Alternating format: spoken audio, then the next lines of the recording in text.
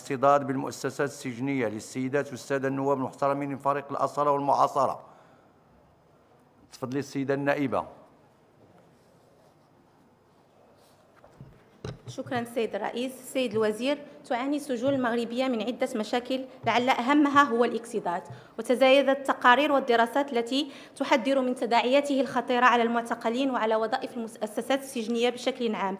أين وصلتم في معالجة هذه الظاهرة؟ تفضلوا السيد الوزير. أشكر على طرح هذا السؤال. فعلا إحدى الإشكاليات التي تواجهنا هي القضية الاكتظاظ في السجون. هنالك مجهود بذل في هذه السنوات الأخيرة عبر المجهود ديال المندوبية العامة لإدارة السجون وإعادة الإدماج. اولا بناء مؤسسات سجنية جديدة. 17 للسجن جديد منذ 2014 ثانيا العمل على تجاوز وإغلاق المؤسسات المتهالكة. 15 مؤسسة سجنية أغلقت. ثم العمل على الإصلاح والترميم. 14 مؤسسة سجنية أخرى.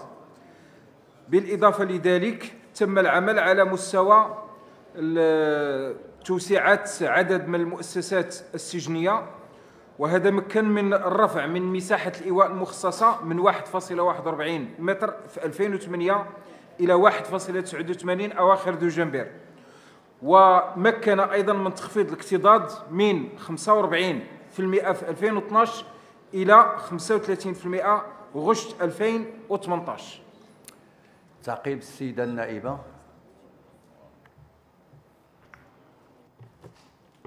السيد الوزير صراحة هناك مجهودات مبذولة كما ذكرتم ولكن بناء كما ذكرتم 17 مؤسسة إلى غاية 2018 مقابل آه، إغلاق 12 مؤسسة يعني بعملية حسابية تمت إضافة مؤسستين فقط. هل هل في نظركم هذا كافي لاحتواء اكتظاظ السجناء؟ فضلا على أن متر وفاصلة 89 كمساحة لإيواء كل سجين غير كافية وغير آه، غير آه، غير ضابطة للمعايير الدولية التي التي تلزم على الأقل ثلاث أمتار لكل سجين. سيد الوزير ذكرتم أن نسبة الاكسداد آه، هي 45% آه، من انتقلت من 45% إلى 40% إلى 35% رغم أن المعلومات التي لدي هي 40% سيد الوزير ألا ترون أن هذا المشكل أساسه أساسه أساسه هو الاعتقال الاحتياطي. هذا الاعتقال الاحتياطي الذي يشكل أزمة ويشكل هو مشكل هيكلي. ولهذا يشكل مشكل هيكلي. السيد آه، السيد الوزير ألم يحل الآن الحال لإخراج مسودة مشروع قانون 98 23 98 المرتبط بتنظيم وتسيير المؤسسات السجنية. آه، فالمغرب لا زال بعيدا عن المعدل الدولي لتوزيع السجناء المتمثل في حارس واحد. النائبة المحترمة. هل هناك تعقيب إضافي؟